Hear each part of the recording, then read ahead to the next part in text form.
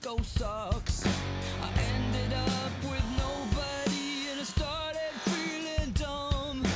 Maybe I should play the lead guitar and Pat should play the